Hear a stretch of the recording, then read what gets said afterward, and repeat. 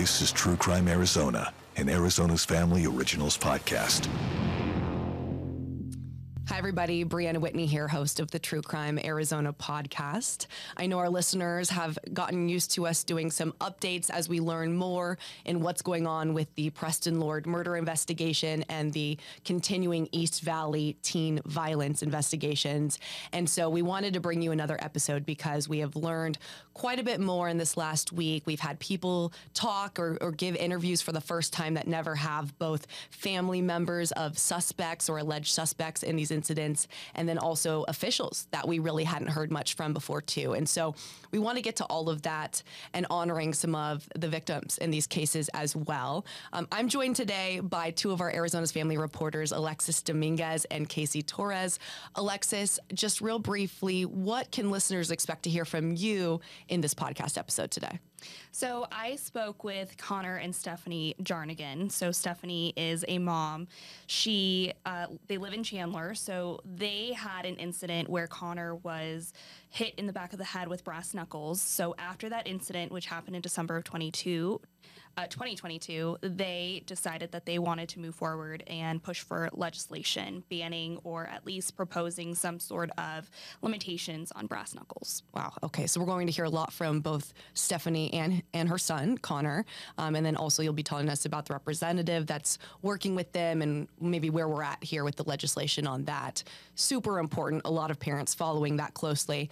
Casey, you had an exclusive interview this week with a family of one of the suspects, uh, alleged suspects that we have seen the most in these cases. Tell us a little bit about what listeners and viewers can hear from you in this episode. Right. So I talked with Bianca and Andre Fantastic. They are Christopher Fantastic's parents, uh, the 18 year old that right now is facing assault charges for two separate attacks um, that were connected to teen violence happening in Gilbert and Mesa. Uh, right now, you know, police are telling us he is behind bars. But I did speak with his parents who gave me a little bit more background on just how he was a troubled teen, what they tried to do to help him what they were trying to ask police to do to help him out as well, and just kind of how they're saying that he has to be held accountable if he is found guilty for this. So they're not completely defending him, and they are telling me also just how they feel about other parents. Um, pushing for something to be done about these alleged attacks.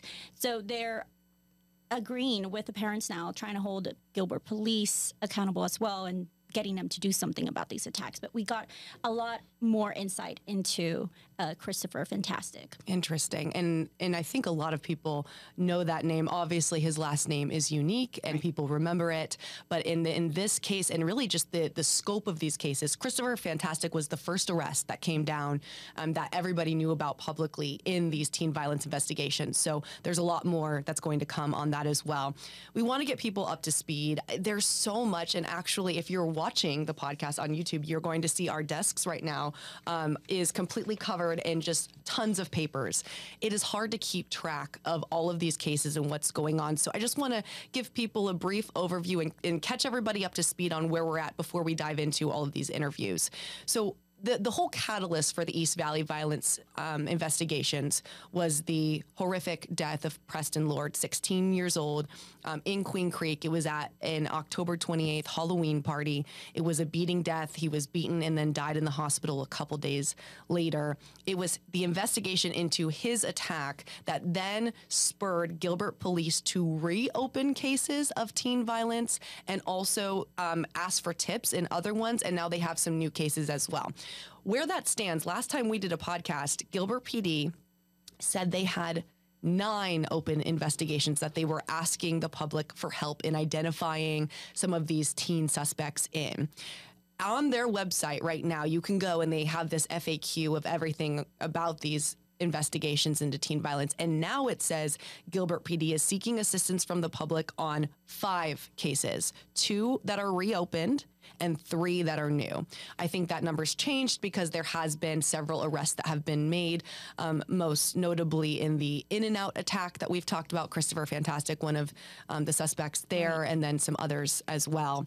Um, in all of these investigations, with the arrests that we have seen, you've probably heard the names. We've got Christopher Fantastic, Aris Arredondo, Garrett Bagshaw, Jacob Pennington. These are some of the names where we've seen mugshots, um, and because they are adults, 18, 19, 20 years old, they're being named publicly. There have been several more arrests in many of these attacks um, where they are minors, 16 or 17 years old. Therefore, we don't have them named. We don't have their mugshot. So that's why we're not giving those names. We know what's out there on social media. We know that parents, we know that community members are aware of who these other alleged minor suspects are. We cannot say those names just for legal purposes because they are minors. So that's where Gilbert PD is right now. They're working on five different cases. And then as for the Preston Lord investigation, Queen Creek was the original agency that was investigating that. And then they submitted charges against seven people, both minors and adults, to the Maricopa County Attorney's Office. We are awaiting her decision on what those charges are going to be and, and who they're going to be all against. It could be all seven people, it could be a few of those people. Certain charges she could say yes, certain charges she could say no. So that's where we're kind of waiting on that front. Um, I want to talk to Casey first. We're going to bring you in. This interview you did with Andre and Bianca Fantastic. First off, you did not know if they were going to talk to you. Right. Take me through the process of your story yesterday in terms of hey, what are we going to do? Are we going to try to talk to Chris Fantastic's parents? And what are we hoping to learn from them? And then we can get into what they said. Right. So this is what we call a door knock. We go out on them many times. We had an address for Bianca Fantastic. We all discussed in the meeting should we go try to talk to them, see what we hear. Uh, we're just trying to see if they had anything to do with their son's arrest. Did they turn him in or not? We because we were hearing rumors that they Yes. had turned him in, and that that's important because they answer that question. Yes, they did. Um, so they didn't turn him in, is what they were telling me. Did not. Yeah, they said police just knocked on their door, and the stepdad said, "Come out and talk to them. You're 18. You're a grown adult. Go talk to police." Then 10 minutes later, that's when we're told that Christopher was being taken away. Interesting. So the parents were uh, very forthcoming. We didn't expect they were going to say yes. We showed up. Uh, we're, I was prepared for them to tell me, leave me alone. We don't want to speak with you. Close their door on my face.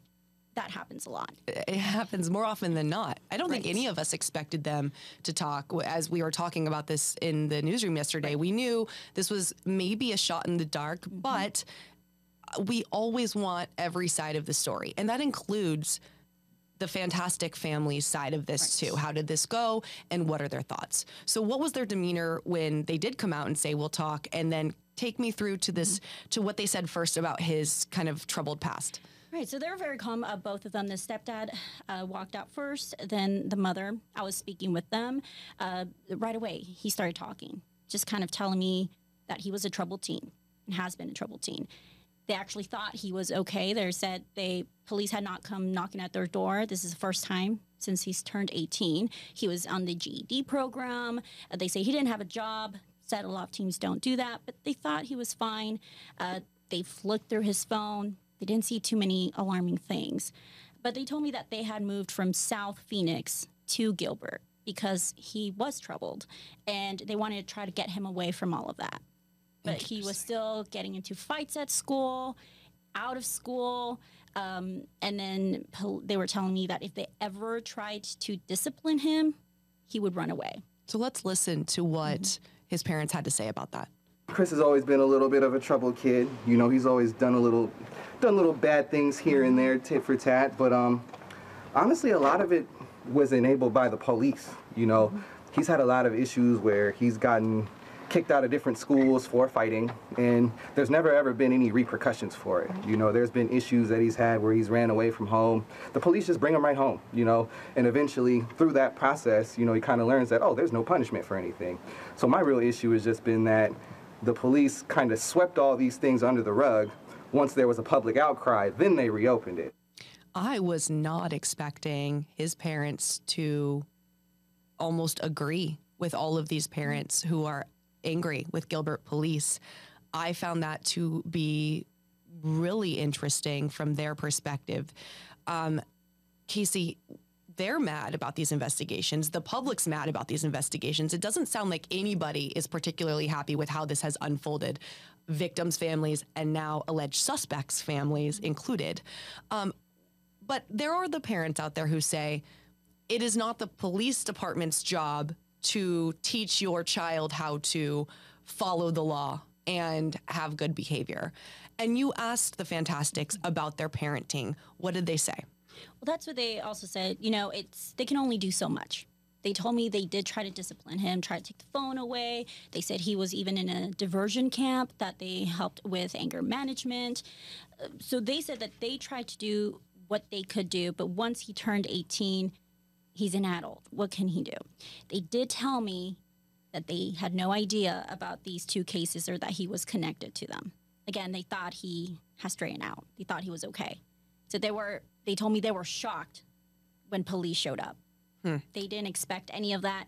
And um, the d- stepdad was telling me it shouldn't also have taken community outcry for these cases to be reopened and then for something to be done about it. Sure, sure. Let, let's listen to them talk about this parenting style. To be honest with you, I feel like when we tried to ask the police to intervene and to help Chris when he was younger and when he did the small things, they refused to help him. And here we are today. Eventually, when you you're in a situation where the police won't discipline you, won't punish you for these things, there's only so much we can do. I can take away your phone and take away the internet and, and, and keep you in your room, but if it's already been established that you can leave the house without punishment due to the police, what do you think he's going to do? So they say that he's really kind of a, f- a flight risk as well um, in terms of a runaway, you know, going, coming back, going, coming back. Um, you know, a phone. That's that's my parents. I'm sure your parents growing up um, took away the phone, and and that's a, a place to start. But obviously, there's there's more at play here. Um, the you asked about the infamous Gilbert Goons. The way that we have been reporting about this alleged group. Um, it is the pol- the police are referring to them as the Gilbert Goons because that's what's been identified. We know through court records that through some of these arrests, one of the people involved, Jacob Pennington, admitted to being part of a group called the Gilbert Goons. He said it started from a Snapchat group, so that's now where we kind of know where this name came from. Um, Christopher Fantastic is part of these investigations that people have tied to being the goons. Now, Gilbert PD is investigating whether they are the Gilbert Goons, and we are still awaiting both Gilbert PD and the Maricopa County Attorney's Office to determine whether the Gilbert Goons could be considered a legal criminal street gang in Arizona. That has not been decided upon yet. So, right now, we just know it's a potential group of kids that call themselves the Gilbert Goons. But it, it's the buzzword of all of this because that's what has parents so upset it's a it's this group of teens that are almost making it like a clout thing. You know, we're the Gilbert Goons, and and we're gonna take videos of our assaults. It's it's a horrible culture. Um, but Gilbert PD is investigating that. Christopher Fantastic has been arrested for two different teen assaults, and you asked his parents about him being a potential Gilbert Goon. How did that go? Well, I, w- I had the question in my head. That was one of the ones I was planning to ask if they're going to close the door on my face. The dad actually just started talking about it. I had asked him, How have you intervened when you're saying that your son's a troubled teen? And he just went right straight to saying that he wanted to clear something out. So let's listen to it. Yes. Christopher is not a Gilbert Goon. he's not a Gilbert Goon. I mean, these stories, they slant it and they read as if he's a Gilbert Goon. He's not a Gilbert Goon. He's definitely not a Gilbert Goon. I can say that I've seen conversations, private conversations that he's had with his friends about events that they've had with that same group of kids. They've had run ins with those kids um, before. Is he a part of that group? Heck no. So it's been a little frustrating that he gets painted in this light like he's involved with that group and this Preston Lord kid. It's nothing to do with that. Okay. There's a lot to unpack there. Yes. Um, I saw people upset in our social media comments yesterday by the reference that his dad made to this Preston Lord kid. Um, upset that, that that was the the terminology that was used. Obviously, the Preston Lord murder investigation is extremely serious, um, and so we are taking that with the utmost um, serious nature as well. But I, so he da- stepdad says not a Gilbert goon. We we quite literally had that as a headline yesterday. Not a Gilbert goon. So we were looking through old court documents to see what was anything that was said in Christopher Fantastic's initial appearances or police records, the police reports. I do want to bring up um, a couple of things. So he was arrested both uh, in a Gilbert case and a Mesa case. Um, I believe it's in the Mesa case. i I have part of the court documents here this is quote word for word. Under Miranda, your Miranda rights, the defendant told us the only fight he was in last year was at the In N Out. That would be the Gilbert In N Out. The defendant does not remember the incident from May 29th, stating he used to smoke marijuana back then. The defendant said he has hung out with the group from kids involved in the In N Out incident. So he is confirming to police that he does hang out with the people in the In and Out incident, and the In and Out incident is being investigated as possibly tied to the Gilbert Goons. So, if that is proven to be something that is part of the Gilbert Goons, that would actually go against what the parents said. Right. And the mom said that they've tried looking at his phone, uh, but she says you can't really know everything. In her defense, she was saying that many of the apps that these teens use are like Snapchat. Many of the messages are deleted And disappear. and disappear. Mm-hmm. So it's not something that they can 100% know, but the dad, the stepdad does claim he has seen conversations and that's what he stands by. And he, as you can hear, he was felt very strongly and confident that his son is not a Gilbert Goon. So that's what they say. Right. Um, before we finish off with uh, your interview with the Fantastic Family, I, I do want to go into a little bit of them talking about what they claim Gilbert PD has not done with their son and the criticism they have with that. There's been no lack of discipline or punishment, you know, on our end. Um, but sadly, you know, this is the sad state of the world, you know, and it's really an unfortunate situation that he's gotten himself into. And obviously, they probably sealed the records because he's a minor, but the kids ran away, I don't know, 10, 11, 12 times. And each time it's the same process. It's parents enact punishment, kid gets upset, kid leaves. Gilbert police says, we bring him right back home. We beg the Gilbert police, hey, can we punish him? Can we teach him a lesson with this? Can we please do something uh, that shows him that this is not okay? And they say no, you know, because he's a minor, their protocol is to just bring him back home. So again, we rinse and repeat. So now he gets brought back home. We punish, we discipline you however we can. Stern talking to, like I said, we can take away your phone, your internet access, and, and all these things. But at the same time, once it's understood that you can just leave whenever you want to because the police will do nothing, our hands are tied. I mean, you can only do what you can do. And so right now, he's serving his time. That's how we feel as a family. You should do it. Does it mean he's guilty? We don't know. We also don't know the evidence. It slowly gets rolled out to his lawyer because there's minors involved. So this is where he has to be if he's unfortunately getting in trouble. That doesn't remove our love and it doesn't remove our support. But at the same time, you do the crime, you do the time. That's the phrase you do the crime, you do the time. So it does sound like his family believes that he does need to go through um, the justice system to determine whether or not he is guilty. Um, Casey, you ended up reaching out to Gilbert PD about that because those were pretty uh, interesting claims from them saying, well, hey, we've, we have specifically asked Gilbert PD to handle our son when he runs away and he's picked up by the police. What was the response you got back? They did send me a state law ordinance telling me basically that when it comes with these cases without a warrant, they can't make an arrest without probable cause. And when it comes with minors, they can't do something that parents are asking. and it's different because It's it's, an adult versus a juvenile and so Right. that i mean there is a point there that that could be a real issue if you do have a chronic runaway child you know what what do you do in that instance but gilbert police is saying we can only go by what the statute says in Arizona law in terms of the probable cause of holding somebody um, with an adult in an arrest versus a juvenile, and so that's that was kind of their response back. They didn't really say much more other than l- they literally sent you an ordinance. Yes. Um, I in one of the paperworks though from Christopher Fantastic's arrest with Gilbert PD, um, it is clear that they are aware he is a problem. It says in the flight risk indicators, quote, Defendant is known from previous police involvements to be uncooperative with law enforcement and is also known to frequently travel and stay at unknown locations other than his listed residence. So Gilbert PD was aware, aware that not only was he a runaway, but that he was uncooperative and that they did have an issue there. And so maybe this does beg the question there needs to be more in Arizona statutes or law that they can do with juveniles who have a chronic issue with law enforcement um, if the parents parents are saying, hey, how can we work together to better this situation? Again, that is the fantastic side of things. Yes. And Gilbert PD did not explain any more than sending you that ordinance. So we don't know how Gilbert PD feels about it because they just didn't send us anymore. Right. But yes. you did ask.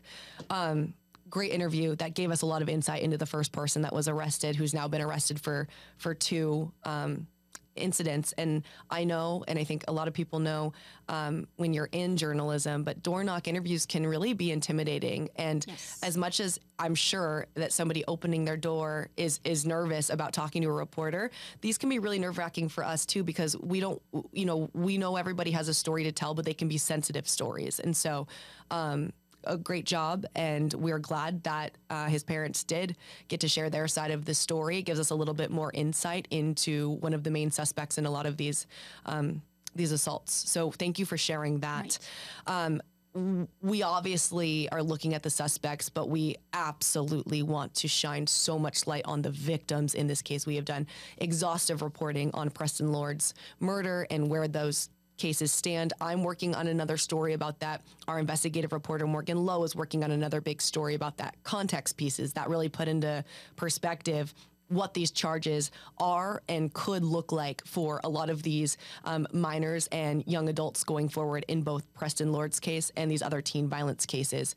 Alexis, you spoke yesterday to a mom and her son, um, Stephanie Jarnigan, and her son Connor. Connor was involved in an attack as a victim. Can you tell me a little bit about your process in terms of this story? How did you get in touch with them? And and then what actually happened in terms of why they wanted to speak out? Yeah, so I know you initially had heard from them because they spoke before Gilbert City Council. They've been uh, pretty involved in just the teen on teen violence going on in the East Valley, speaking out against it. Again, Connor was a victim. He was attacked outside of the Gilbert In and Out um, back in December of 2022. So he. Um, was attacked with someone who had brass knuckles, and it was a group of kids. Basically, he said he didn't really know them, um, but they had originally approached him trying to be nice, and then it kind of went from there, kind of spiraled. And um, he said that after that incident, he felt very strongly that brass knuckles just don't really have a place in our community.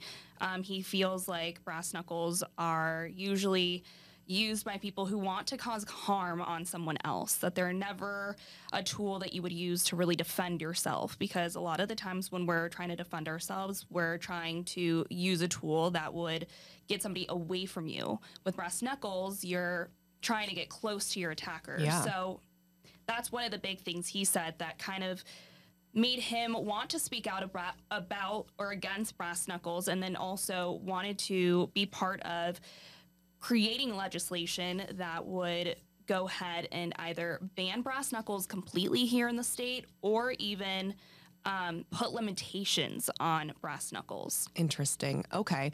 So we've talked a lot about these assaults and, and we know there's victims, but this is maybe the first time we're hearing um, a victim actually share his personal story with what happened. So let's hear Connor describe that day he was attacked. A group of guys, about 10 to 12 of them, approached us and they were they started out being friendly. They complimented my car and the sweater I was wearing. And then out of nowhere, the main person who was talking to me asked for $20. And I said, No, you're not getting my money. One of his friends uh, said that the keys are in the car. So the guy who was talking to me tries to get in my car, and I don't let him. And when I turn around to grab the keys, he punches me in the back of the head with brass knuckles. And luckily, I didn't go unconscious, so I turned around, and then that's when I felt the blood going down my back. So I gave him the money, and they went away, and we drove um, to a nearby store and called the police. and the fire department cleaned my head up. It took me like a while to like kind of come to my senses of emotions.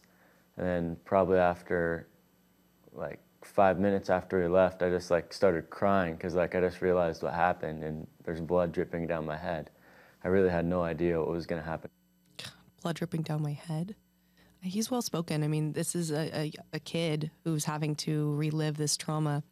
Um, Alexis, when it comes to brass knuckles, and you're hearing him talk about it there, how many states are they legal in?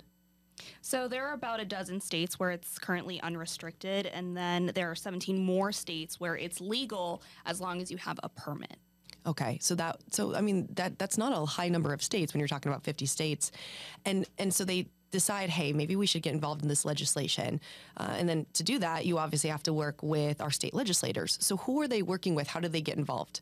So they are currently working with Senator John Kavanagh, and this is kind of important to note that Senator Kavanagh is a former New York cop. So even when I was speaking with him about this proposed bill, he was saying that he was shocked to even learn that brass knuckles were legal here in Arizona. Obviously, there are some cities like Phoenix where you can't necessarily buy brass knuckles, but um, there are plenty of other cities in our state where you can. Wow. Okay. So that's why they got involved. I- I- that note about him being a New York cop, and he was shocked to hear that you could use them in Arizona. Um, that that's a really good perspective note. So Connor and, and his mom Stephanie now working with Senator or um, Representative Kavanagh. Um, I want to listen to how Connor talks about getting involved in the legal process with this. Probably something he never expected that he would have to do. We decided to write our representatives and ask them to uh, ban brass knuckles.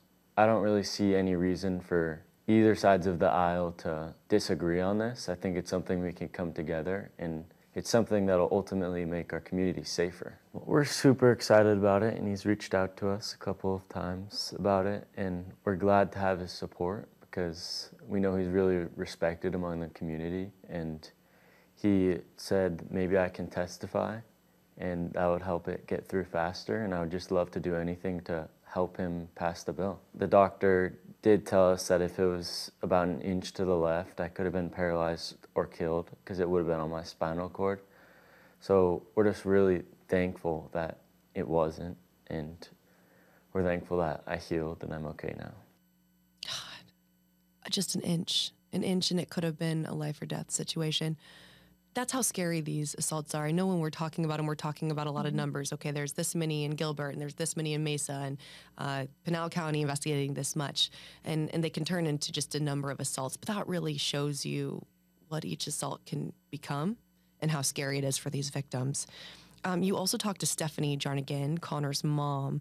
The parent perspective, I think, is so fascinating, and it is one that is resonating with so many people who are paying attention to this coverage because they're scared for their kids. And and the emotional and traumatic impact that these assaults are having and could have on their kids as they go forward really even affects the, the parents from an emotional standpoint. And so I want to play some sound from Stephanie specifically about how she's dealt with this in the aftermath and in the year and the year and a half after her son's attack. It's been over a year now. We're a little bit different in that we were able to prosecute uh, the person that uh, was responsible for attacking him. So we've had closure there. Um, but it's it's been difficult. Uh, I admire him for wanting to seek change and turn this into a positive situation, which it can't really be a positive situation. But if brass knuckles get banned, we consider that a win. Ever since we found the news out about the Preston Lord case and him passing away on October 30th, the first thing that ran through my head was this sounds all too familiar. You know, a kid was ganged up on by a bunch and then brutally beaten. And it just made me sick to my stomach. So there hasn't been a day that's gone by since October 30th that we have not thought about Preston Lord and his family. And so we hope that his family gets justice, and we hope that in some small way that this brass knuckles legislation will make a difference and save a life. That emotion from her is so palpable. It's so tangible. And I I think talking to parents and Alexis, maybe you felt this way too, that they felt this violence was out of control in general. It was escalating and it was a matter of time before somebody lost their life. Yeah, I mean, I think talking, hearing from parents is kind of heartbreaking because they can't do. They feel helpless. You know, they are Right. they've been trying to report these cases. Obviously, some families now feeling the courage to actually speak up. So that's also part of this. You know, a lot of more cases are coming up.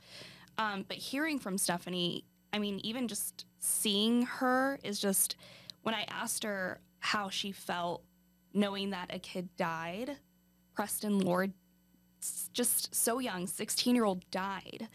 And she has a son who was attacked in a brutal way as well. You know, it's kind of hard for, I think, parents to be in that situation and be like, that could have been my child. Yes. So you can hear the pain in her voice because she really does feel like helpless. Like this happened to my kid, and now it ha- it's happening to other kids, and one child lost his life because of the violence that's going on in the community. And I think that's how a lot of parents are feeling right now when they talk about these cases. They're not just cases; these are families, and these are kids that are afraid to go to school. I mean, when you hear Connor in his interview, I think it's also just this is scary for me as a 29 year old hearing and covering these cases and to even hear you know how he was attacked he was confused he said that why is this happening to me why me like i think when you think of this being scary as an adult put yourself in a kid's position they're still so naive they're still really young and they don't understand that sometimes these things are happening and they have no control over it so I think it's very scary for people in the community who are dealing with this, hearing about these cases going on on a daily basis. Um, they want change. Right. And I think this is really the step that they can at least take in creating change and advocating for change. And I know the Jarnigans were nervous to speak out. Um, when I talked to Stephanie at a council meeting, was it last week or the week before? Um, they at that point she you know didn't want their last name out there and things like that. And I think the the good news is that they are feeling empowered by the support and this possibility that they could help create some of this change that needs to go forward. I texted Stephanie before we were, recording um, because the brass knuckles legislation is so important. She said that Gilbert Council member Bongiovanni, who is one of the three that's on the subcommittee that's uh, looking into the teen violence investigations with the Gilbert Town Council. She said um, that council member is working with Connor on an easy petition website, which is nobrassknuckles.org with normal spelling. Um, they're working on getting that website completely up and running, but it sounds like Connor has the buy in and the support from um, Councilmember G- Bongiovanni. And so they were feeling encouraged by that, is what she said. And so nobrassknuckles.org is what Connor is working on with that council member. Powerful interview. Alexis, thank you. And you are not done because you were also part of another big story in this whole saga last week. So I want to transition away from the, the family interviews to now the Gilbert police chief. Um, I say that with that tone because it was a much anticipated press conference. Let's just start with the fact that people in Gilbert are angry. There is no ifs, ands, or buts about it. They are very upset and concerned with how they say the Gilbert Police Department has handled these teen violence investigations. Now, we have to know Gilbert PD is not investigating Preston Lord's death. That is Queen Creek, and now those charges went to the Maricopa County Attorney's Office. But what Preston Lord's death did was open up this can of worms of people saying the people that might be or allegedly could be involved in Preston Lord's beating are involved in these groups that are allegedly the Gilbert Goons or, or these kids who are perpetually engaging in violent assaults and attacks on other teens. And so they felt, the community and parents, that Gilbert PD either swept these investigations under the rug and simply said we don't have enough evidence to look into these past cases or just weren't even putting any resources into cases as they came up. Gilbert Police Chief Michael Soelberg had not given a press conference before last week. He had spoken a couple times at the council meetings, but he had not actually had a platform where journalists could ask questions. And that was something that people were very mad about. Um, even from a journalistic standpoint, we've all been trying to ask the Gilbert police chief, hey, can we do an interview about these things? This is what the community is upset about, and this is their concerns. These are the questions they have. Can you at least address this and give some transparency to what's going on? And, and no stations were given an interview with the police chief. So um, I actually want to go to the sound just how he started this whole meeting because he seemed to address that elephant in the room. Thank you all for being here today. I know you've been anxious to hear from me regarding the teen violence investigations. Over the past several weeks, my focus, our focus at the police department, has been on supporting tremendous investigative activities that have been occurring behind the scenes. These efforts are exactly what have led to recent arrests. But one of the biggest frustrations we have heard is that people want to hear directly from me. In the absence of hearing directly from me, inaccurate information has continued to proliferate. Violent crime is on the rise across the country. Although overall crime is down in Gilbert, violent crime is up, and that is reflected both in crime trends involving adults and our youth. In 2022 and 2023, Gilbert PD responded to 375,568 calls for service across our community. Of those calls for service, incidents of group teen violence, being teen on teen violence, ages 14 to 18, have made up less than 0.07% of our total calls for service. Having said that, every call for service matters. We will continue to investigate reports of crimes, pursue justice for victims, and hold offenders accountable, teen or otherwise interesting way to start saying, well, I know people are mad that uh, we haven't heard from me, so I'm here to set the record straight. But also, because you haven't heard from me, there's misinformation out there.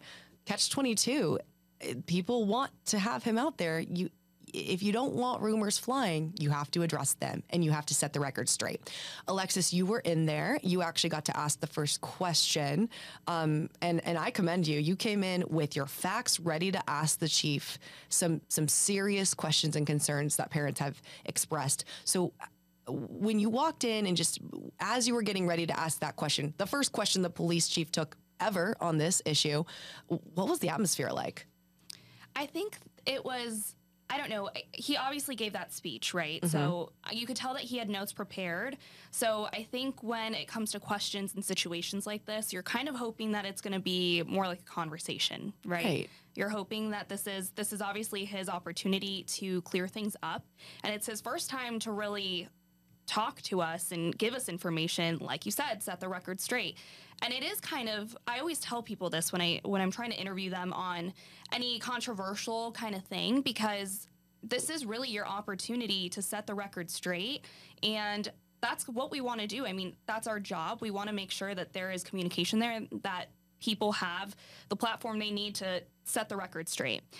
And again, so when I did, when we started hearing from like his answers and we started hearing the questions, I think it was kind of a letdown to see that he was still reading off of his notes. And you'll kind of hear that too when I ask him that first question, because what he said in his speech was also how he answered my first question. Right. Let's roll that tape. People are saying that you and your department have dropped the ball on this investigation and that there needs to be accountability um, in this investigation and towards the police department, especially towards you, Chief. Some have even called for you to personally be fired.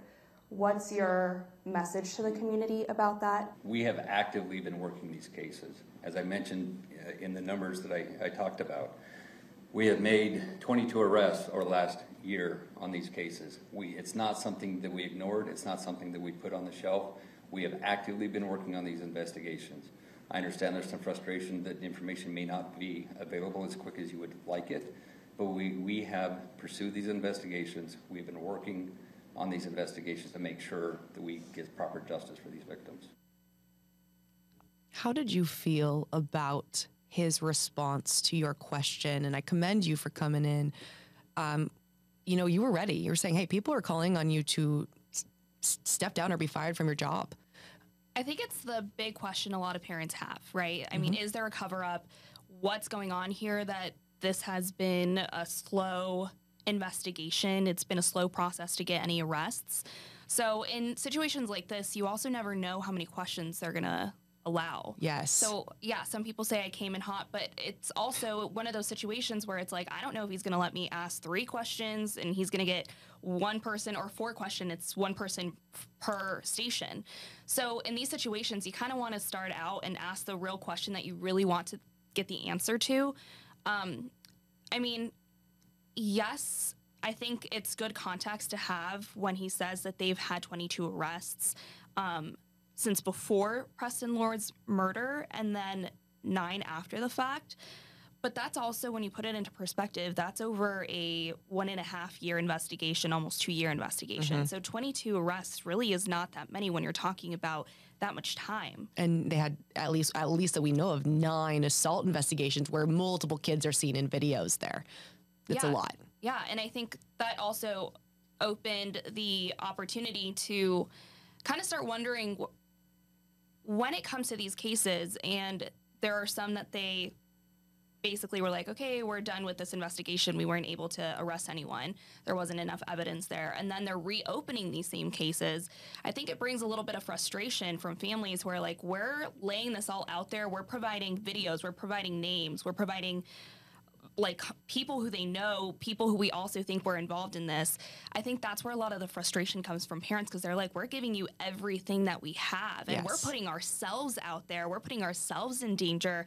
We've also heard of retaliation in these cases. So these parents who are coming forward and these families who are coming forward are also dealing with letting police know all the information they have and then also with some kids retaliating against them and using scare tactics and driving in front of their homes and calling their their home and you know threatening them and even posting on social media you know talking bad about these families who are coming forward. And it's scary when you're a parent and they're doing this and they're kind of scaring your family. And then also you have your kid going to school with some of these kids. Yeah, it's a pretty unimaginable situation. And we have all heard the same thing that you just touched on, and the police chief was asked about this multiple times. These parents are saying, Hey, we are all sending you the same names, the same faces, the pictures. You guys keep asking, We need more, we need more tips. And the parents are saying, We're giving you the tips, and we've been giving you these tips. So, what more do you need besides the video and the names over and over and over again? to actually make these arrests. The Gilbert police chief was asked this multiple times, and here's what he said. All the information that we received regarding the Gilbert Goons occurred after Preston was killed. We know key players that have been mentioned and a lot of other people that are associated with them, and that's what they are looking at is what connection, if any, do they have? And who's claiming it or who's not, and what, what affiliation do they have with anyone? We need to make sure if there's any misinformation, because some of the information we receive isn't accurate. Some people will say it's one person, but then we got somebody else saying it's somebody totally different. So that's part of the investigative process is to vet out, can we prove that this picture is this individual? Some of the kids have the same hairstyles, the same clothing that they're wearing, and so we need to make sure. And even once we identify, and, and they are correct, they have identified a lot of these individuals. We made arrests on the ones that we've been able to establish probable cause, and there are more arrests coming for those additional. But not only are we evaluating, is this the person? Can we prove it's the person? But as I mentioned about the evidence, gathering evidence to prove they were there, and is there any other evidence that we can obtain, whether it's through admissions or, or search warrants, to help prove our case? Is there a cover up? Absolutely not. There's no cover up. We have an excellent department. We have excellent officers do excellent work every day. A lot of people, community members, parents, even other journalists, were were disappointed by the fact that before or while the police chief was asked, "Is this a cover up?" Before answering that, um, right before you heard him talk there, he was shuffling through notes and said, "Well, I have an answer for you," and was looking at his notes as if it was a, a canned response and that it was pre-prepared. Uh, and and people said, if it's not a cover up, why do you have to look at your notes? It's a simple yes or no answer. Um, but he says there is not a cover up. Alexis, at the end of that press conference, the first one with the chief that he had had, do you feel that parents felt that they had their questions answered and felt better about the way that these investigations are being handled?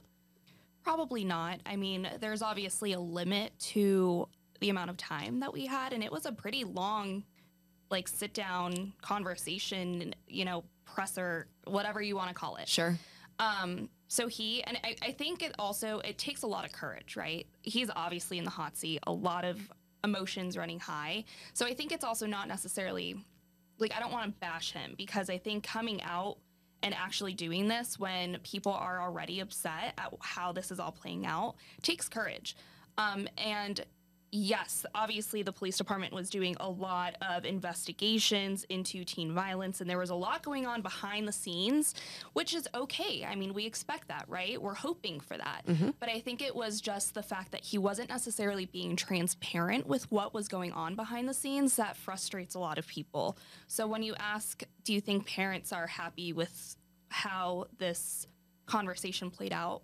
Probably not Right. because I think again we wanted more of a conversation, transparency.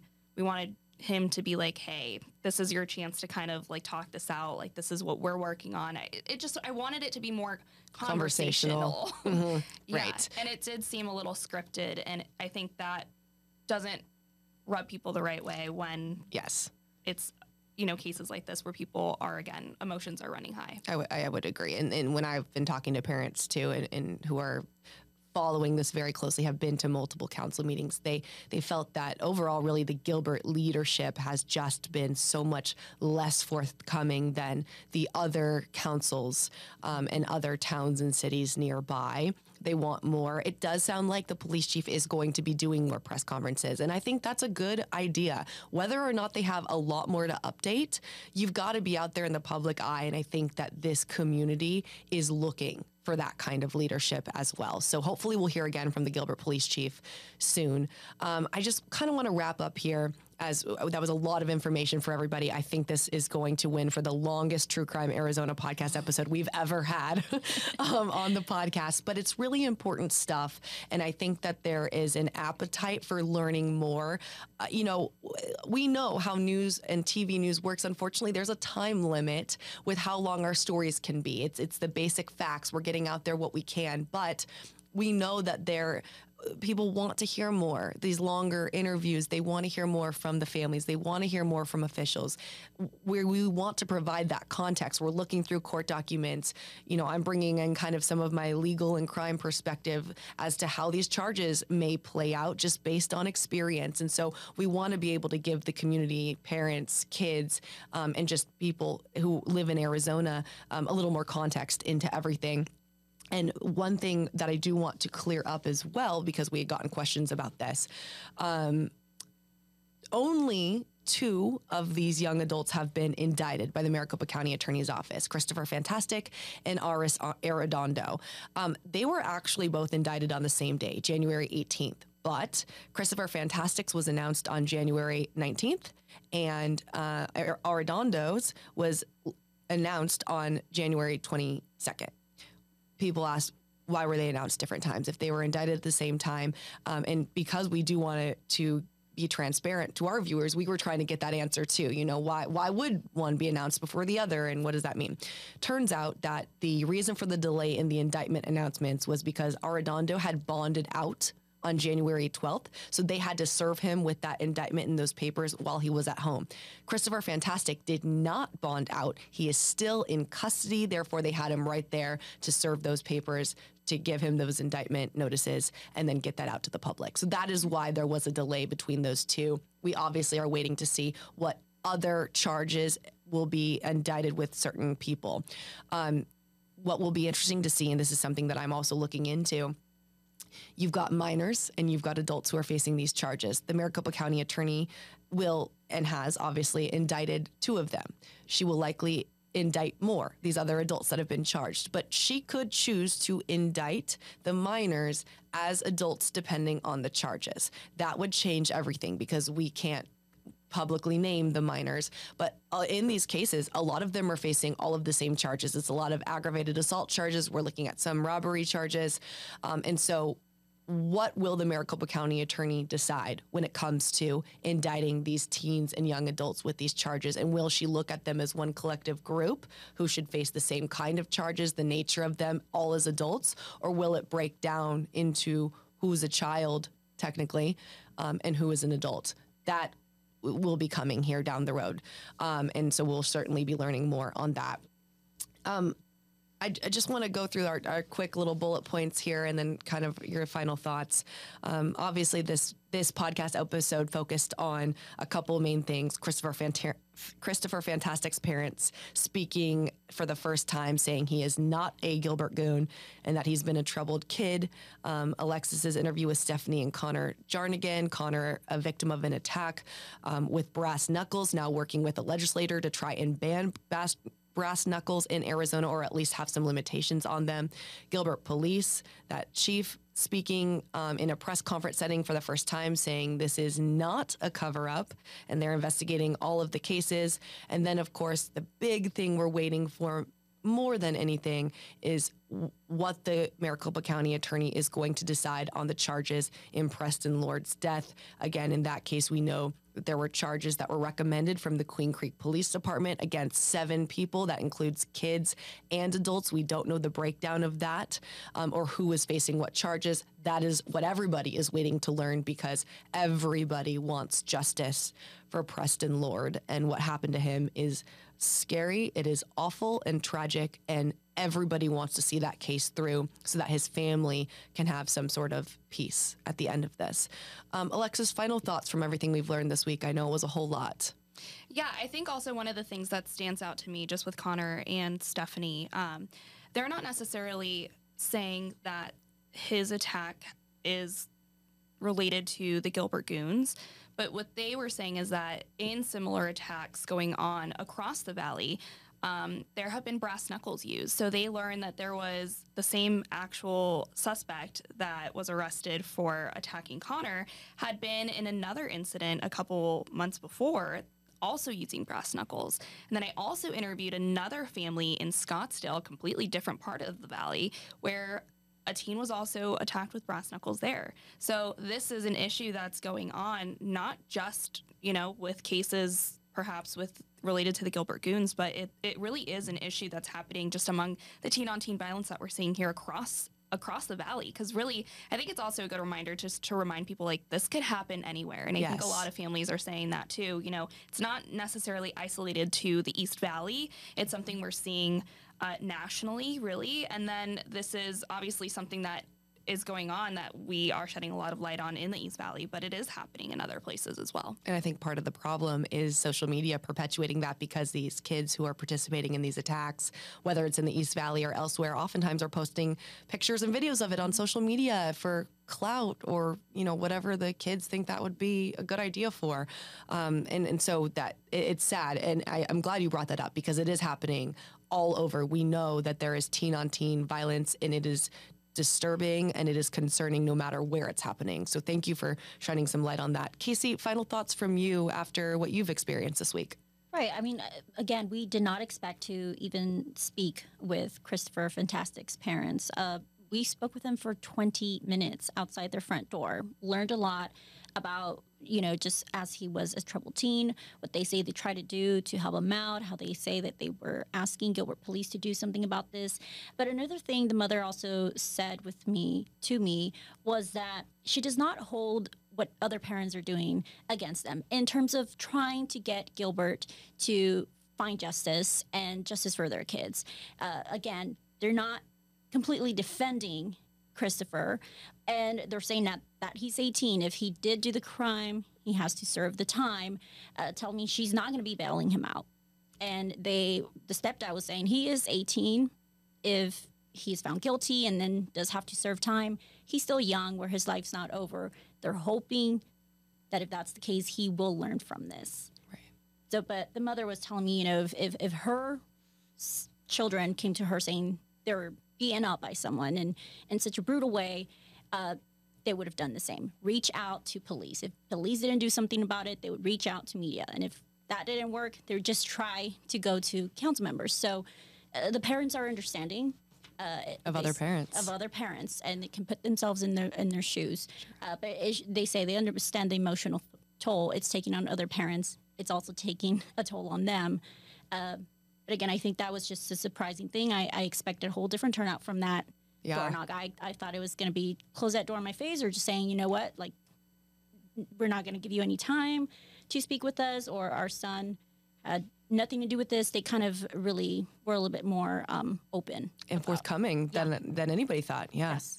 Um, we obviously covered a lot on this podcast Mm-hmm. episode, but if people want to go look at all of our TV reports or our past coverage, um, you can go to azfamily.com and check out our East Valley violence coverage. There's a separate tab for that because there is so much interest in these high profile cases.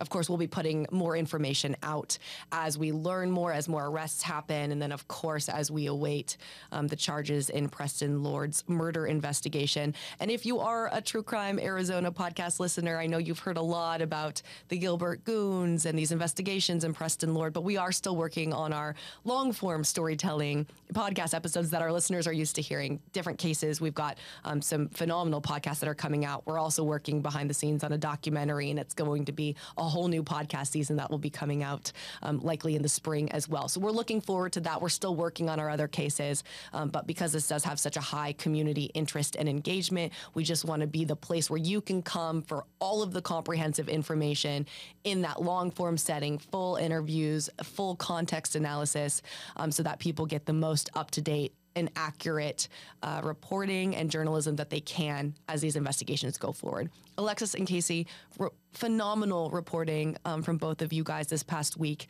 Uh, it was so necessary to what's been going on. So thank you so much for what you've done in your work and then also coming on the podcast. I really appreciate having you guys here. And of course, to our listeners and our viewers, thank you so much. And um, we will be back with another podcast as soon as we learn more in the East Valley teen violence investigations. Thanks. True Crime Arizona, the podcast, is hosted by me, Briana Whitney, and produced by Sergio Hernandez. It's a production of Arizona's Family, 3TV, CBS 5, and azfamily.com in Phoenix, Arizona. This is True Crime Arizona, an Arizona's Family Originals podcast.